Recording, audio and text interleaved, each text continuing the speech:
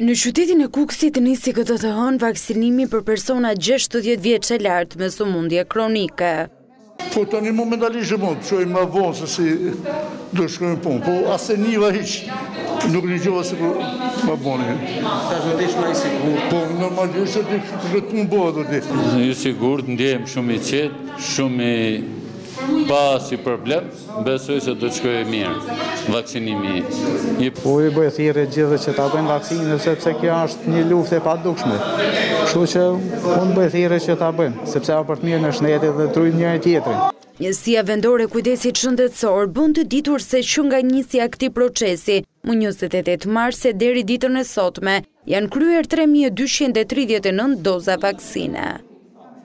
Në Durrës aktualisht po vaksinohen të moshuarit gjashtëdhjetë e pesë plus dhe tetëdhjetë e pesë plus, ndërsa ditën e martë pritet të nisë vaksinimi i gjashtëdhjetë vjeçarëve. Po kështu edhe në Shkodër, vaksinimi për grupmoshën 60 deri në 65 vjeç pritet të nisë ditën e nesërme Pranë qendrave shëndetësore, Sinovac është vaksina që do të injektohet dhe përparësi kanë personat me sëmundje kronike. Po, nga nesër fillon vaksinimi i moshave mbi 60 dhe do të jetë prioritet gjithmonë të sëmurët kronikë.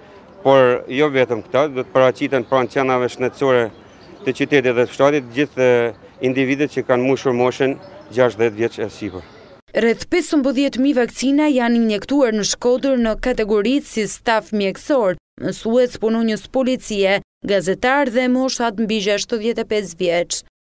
Procesi i vaksinimit është ndërprerë në qytetin e Lezhës, për shkak se këtë të hënë nuk kishin mbërritur dozat e vaksinës për të moshuarit. Kemi folë ne me doktoreshën e familjes, edhe na tha mund të shkoni që sot, se fasha juaj ka fillu që sot.